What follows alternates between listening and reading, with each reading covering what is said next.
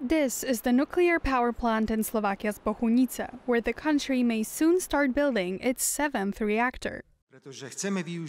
Our goal is to use the infrastructure of the Jaslovské Bohunice nuclear power plant to build another reactor fully owned by the state. Its output will be significantly higher than the existing 440 megawatt units.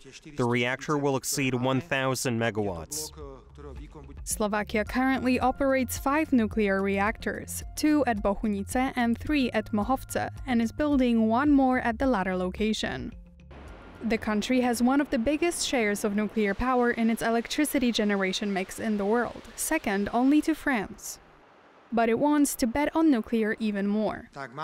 We estimate that our electricity consumption could rise by 40 to 60 percent by 2040. To meet this demand, we will need new sources of energy. Moreover, the Slovakian Republic must compete as a country to attract data centers, and these too require huge amounts of power. Choosing Westinghouse will help relieve some of the heat the country has been getting from Washington for sticking with Russian oil and gas purchases. In the region, Poland also tapped Westinghouse as the technology provider for its first nuclear power plant.